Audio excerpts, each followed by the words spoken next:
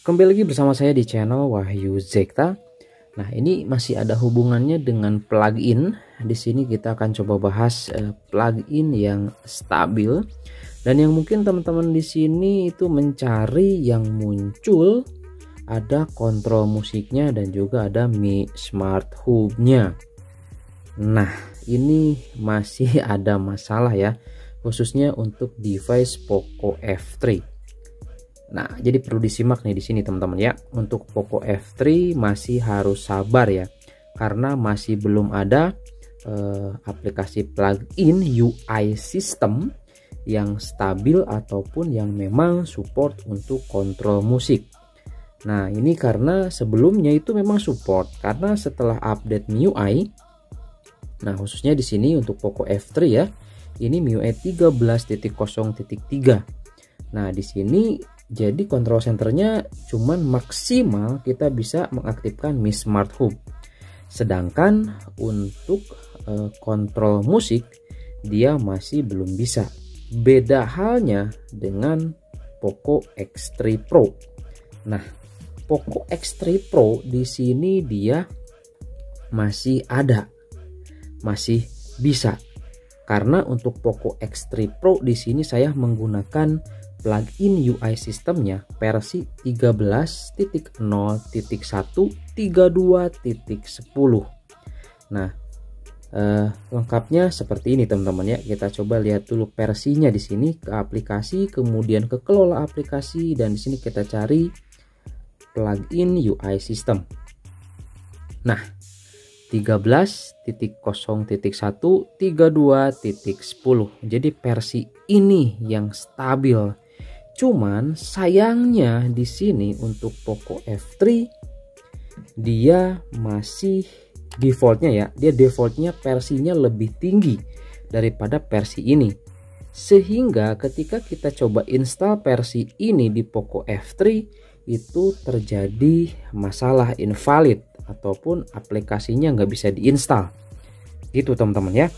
Nah, kita coba lihat di sini untuk di Poco F3 saya, untuk di bagian plugin UI sistemnya, dia ini versi berapa ya?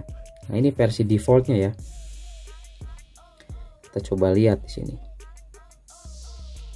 Nah ini versi defaultnya versi 13.0.1.83.1 disable kan nah ini udah defaultnya gitu teman-teman nah untuk cache jadi agar supaya si kontrol centernya ini ya ada kontrol musiknya kemudian juga ada Mi Smart Hub-nya. Nah kalau Mi Smart Hub ini kita harus install aplikasi cache.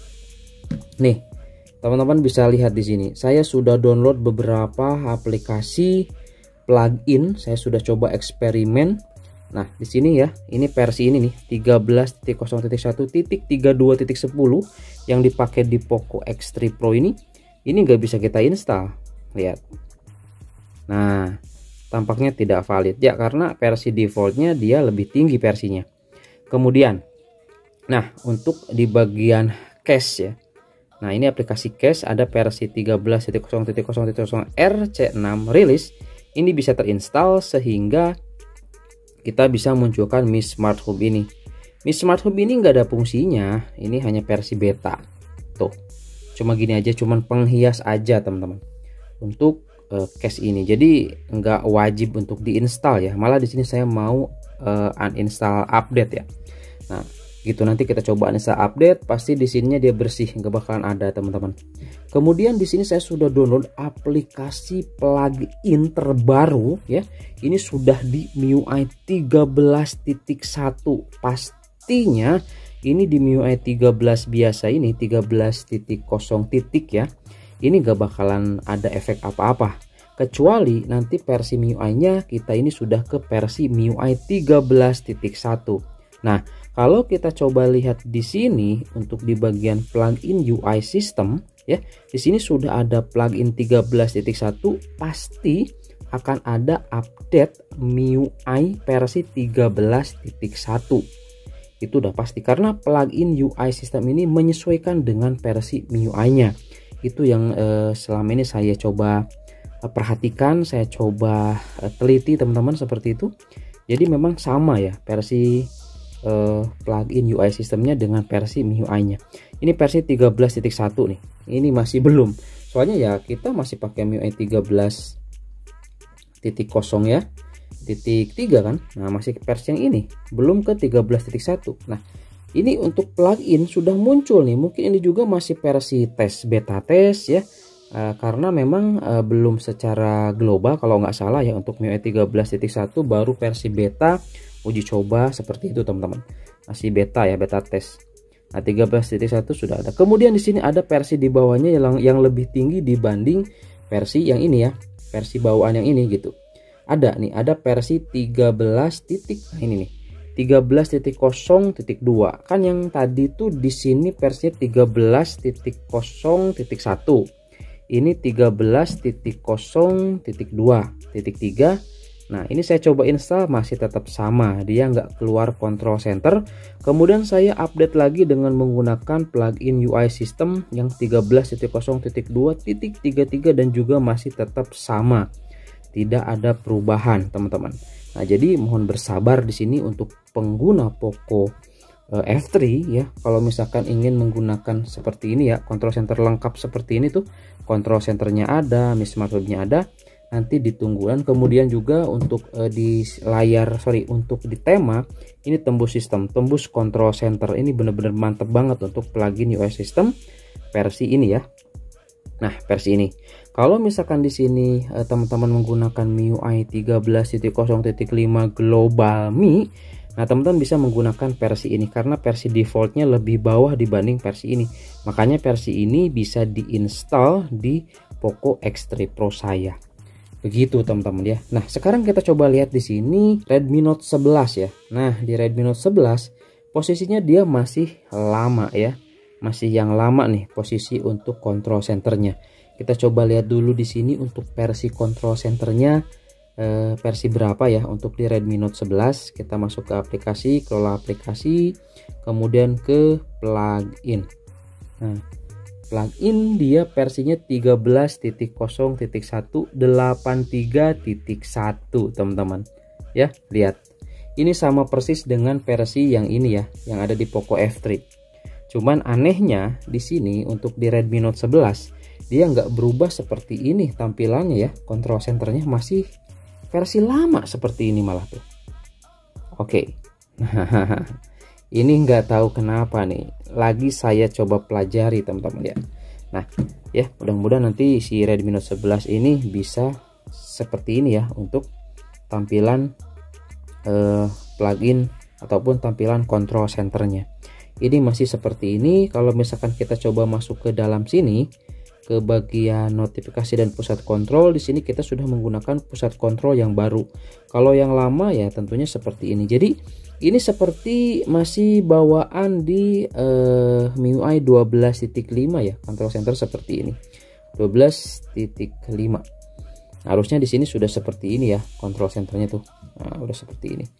Versinya sama dengan Poco F3 cuman dia masih seperti ini. Kemungkinan ini dari versi MIUI nya ya di sini versi MIUI-nya di versi 13.0.6 dan juga ini bisa terjadi atau mungkin terjadi karena dia masih menggunakan versi Android 11. Jadi perlu teman-teman ketahui di sini kalau misalkan ingin stabil dan ingin merasakan control center seperti ini, ini harus Android 12 ya. Itu sih selama ini yang sudah saya coba pelajari, saya coba simak, saya teliti jadi seperti itu ya. Karena di sini masih Android 11 meskipun MIUI 13, jadi control centernya dia masih yang lama seperti ini.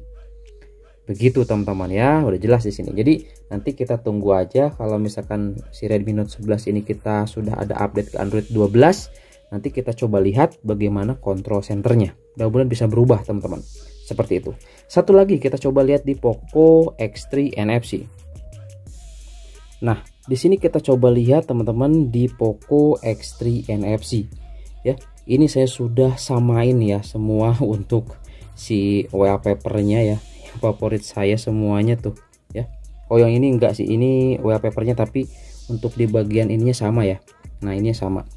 Jadi cuma wallpaper live-nya yang berbeda teman-teman. Nah, Di sini teman-teman bisa lihat untuk di Poco X3 NFC juga versinya ternyata malah lebih tinggi dibanding Poco F3.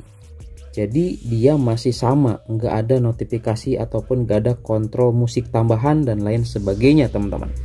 Dan sangat disayangkan sekali untuk versi uh, plugin UI system ini dia tidak tembus ke sistem, terutama di bagian control centernya yang sempurna itu yang ini nih yang ada di Poco X3 Pro.